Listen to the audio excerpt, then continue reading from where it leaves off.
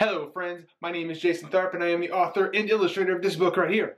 It's okay to be a unicorn, and the soon to be released It's Okay to Smell Good. And today I'm going to read you It's Okay to be a Unicorn. And as you listen to this story, I want you to think about has there ever been a time where you've wanted to do something and maybe somebody told you you can't? Or maybe there was a time where you felt different than everybody else. And maybe you believed a story that somebody said that you knew weren't true. That's what I would like for you to think about as you're listening about Cornelius as he adventures through this idea of what is going on at Hoofapalooza. Sit back, relax, and enjoy the story. Friends, I am so excited to read It's Okay to Be a Unicorn for you. Okay, it starts out with an official decree. And a decree is like a law.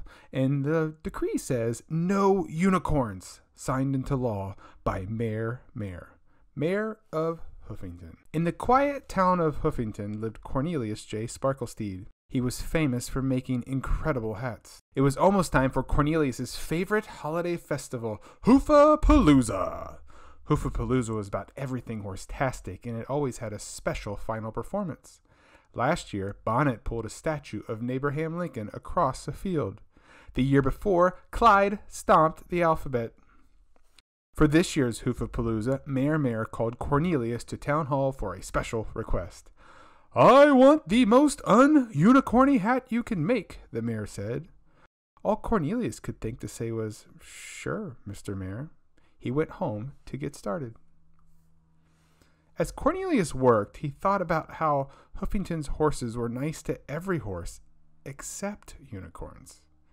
They said lots of mean things about unicorns. Cornelius knew none of it was true, but he never said anything back and he always kept his big secret hidden under his hats. Some things they said about unicorns were their horns are too sharp. All they care about is magic, and they fart rainbows. When Mayor Mayor picked up his hat, he said, Wow, it looks great! Your hats are so creative, I'm choosing you to perform the final show at Hoofapalooza. I can't wait to see what you do on stage. That's hooferific, Cornelius said. Thanks so much, Mr. Mayor. I won't let you down. On Monday, Cornelius stopped by his friend Tilly's donut shop. Congratulations on being picked for Hoofapalooza's final show, Tilly said. I've been working on new flavors. What do you think? Cornelius took a bite. Holy hay, these are so yummy. But have you ever thought about even more exciting flavors? Maybe chocolate hay fever? Wowie straw strawberry, super sour green applegrass. Tilly looked thoughtful. On Tuesday, Cornelius ran into his friend Hablo Horsecaso at Hoofington Art Supply.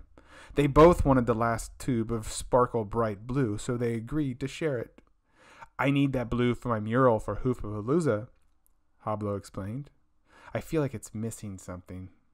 Have you ever thought about adding a double rainbow? Cornelius said. No, wait, a triple rainbow. Hablo looked thoughtful. On Wednesday, Cornelius galloped to DJ Salad's recording studio to ask for help with the music for his Hoofapalooza performance. I'm down with that, said DJ Salad. Check out this track I just made. Do you think it sounds right? Wow, toof-tastic, Cornelius said. But what would it sound like with a wind chime? Or a harp? Or a little more cowbell? DJ Salad looked thoughtful. For the rest of the week, Cornelius made his costume for his Hoofapalooza performance. He had everything he loved bright colors, glitter, and sparkles. While he worked on his costume, Cornelius tried not to think about all those mean things Mayor Mayor and the other horses always said about unicorns. On Sunday, every horse was having fun at Hoofapalooza. Yearlings were getting dizzy on the tilt-a-wheel barrel, and ponies were eating way too much fried hay. But even though he loved the festival, Cornelius wasn't having fun. Before his show, Cornelius peeked out from behind the curtains. He noticed Hablo's mural had a quadruple rainbow. Tilly's donuts looked even wilder than anything Cornelius had imagined. Chocolate hay fever straw strawberry, and DJ Salad's music had wind chimes and harps and cowbells and even a kazoo? Oh my hey, Cornelius said. He felt ready to pull on his costume. When the music began to play, Cornelius stepped out on stage. The curtains parted.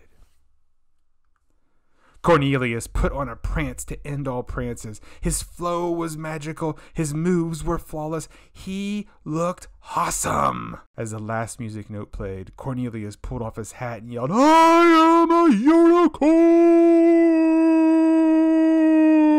To the shock of the crowd, except for his three friends that have always been there. Soon the crowd erupted in cheers. All the horses in Hoofington loved Cornelius. For the first time, Cornelius felt great for being himself. He realized that the things that made him different made him unique. Mayor Mayor even declared a new Hoofington holiday, Unicorniness Day.